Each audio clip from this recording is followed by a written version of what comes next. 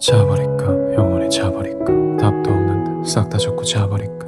걸음이라도 되면 싹은 잘하니까. 잘하니까 잘 살겠지 괜찮으니까.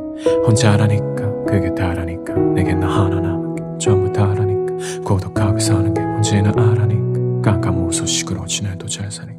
누구누구보다 누가 더 잘 사니까. 그럼 너한테 내가 잘 살게 보이니까. 잘 사니까 잘 살겠지 뭐 잘하니까. 잘하니까 잘 살겠지 쟨 잘 사니까. 정말 불행한 날 봐줄 관심 있을까? 어떤 표정을 짓고선 어떤 생각을 할까? 돌아오는 거라고 오시라까 협참.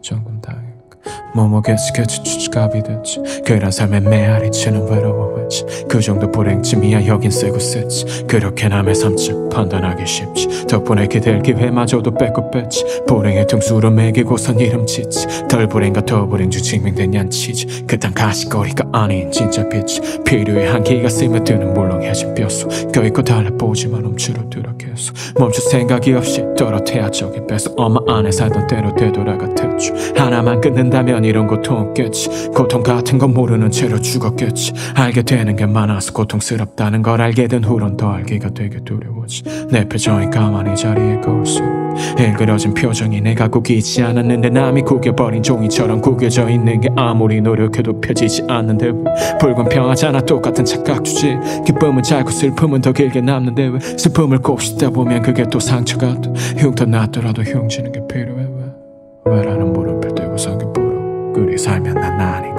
같아서 두려워 운명 남자처럼 운명정해졌던 믿음 그나마 그런 점이 괜찮아지는 거지. 영감에 이끌리듯이 살아가 본 적 있지. 그게 행복이란 느낀 그마저도 편견. 지급한 사회의 편견에 부딪힌 편견은 더 큰 쪽에 의해 부서졌지. 산산조각이 났지만 그 조각을 쥐고 발목에다 세워서 크지는 않을 거야.